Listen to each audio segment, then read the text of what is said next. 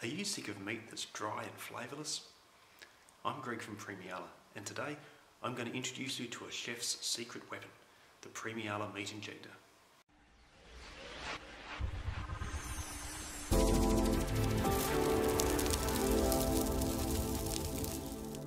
So why is it that no matter what cut of meat you buy, or how long you marinate it for, you just can't seem to get that same juicy all the way through, fall off the bone type of meat that you get in some great restaurants. It's not like you don't know how to choose a good cut of meat.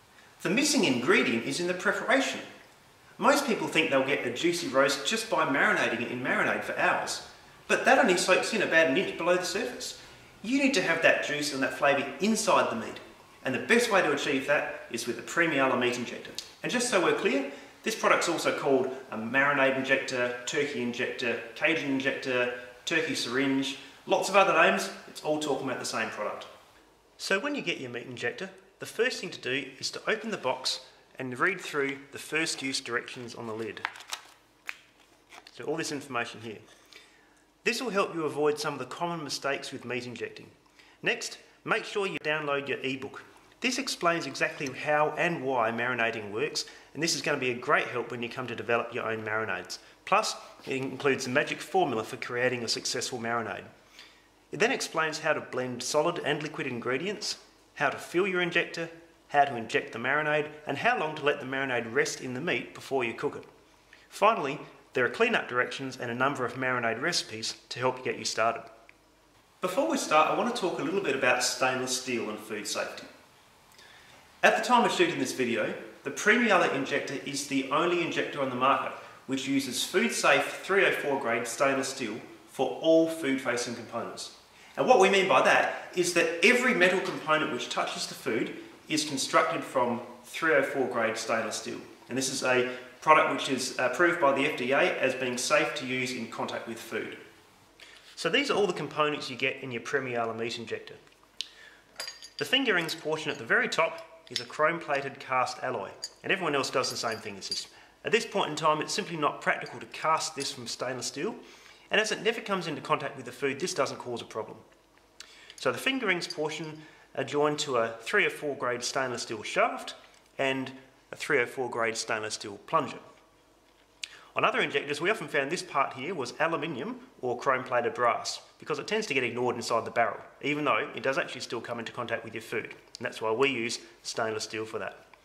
And around the plunger is a food-safe silicon O-ring, which creates a pressure-tight seal around the plunger. These last for about 12 months of use typically, and we give you two spares with your injector. We also sell spares in case you run out. The plunger assembly is screwed into the barrel which is, again is from 304 grade stainless steel. On the end of the barrel is the barrel nosing into which the needle thread screw. And again, you've got 304 grade stainless steel for both these components here. And these are another couple of parts which often get shortcut on some, some injectors, either chrome-plated aluminium or brass. And you may not notice it until you get some knocks and some dings on these, and then they go through the dishwasher. And finally, the needles themselves. The three needles we supply, all from 304 grade stainless steel. So as I said, there's three needles here. The first one is the 12 hole needle.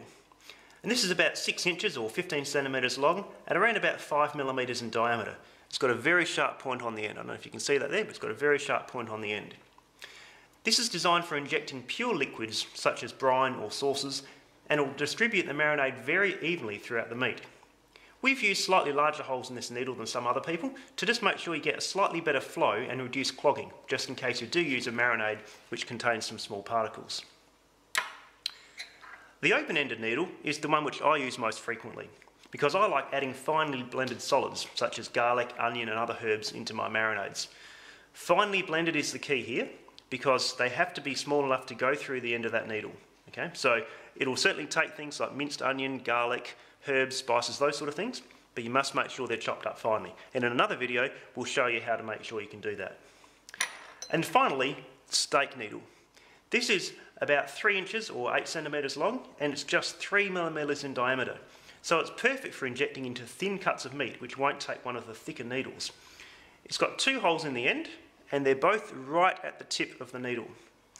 Um, and that means the marinade gets spread evenly on both the sides, and as you draw the needle out of the meat, it keeps injecting marinade right up to the edge. Now obviously, with the size of the holes you've got here, this is only designed for liquid marinade. And on the end of each of these needles is a silicon O-ring. And again, we provide spare parts of these as well. These help to create a pressure tight seal when they screw onto the barrel of the injector. So now you know what you get, how do you put it all together? Well, if you remember one thing from this video, the most important thing to do is to make sure that you put oil around the O-ring before you use the injector. The O-ring is a very tight fit inside the barrel and if you don't oil that, it will be very hard to push and you will get frustrated. So above all, remember to oil the O-ring. If you don't oil the O-ring, it's very difficult to get it in. It's a very tight fit and when you try to pull it out, it's quite hard to move.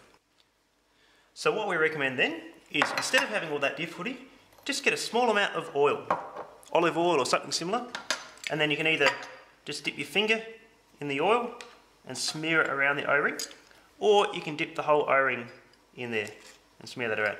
And once you've done that, it slides in so much easier. See? That's how it goes if you've got the oil on there. So you then simply screw the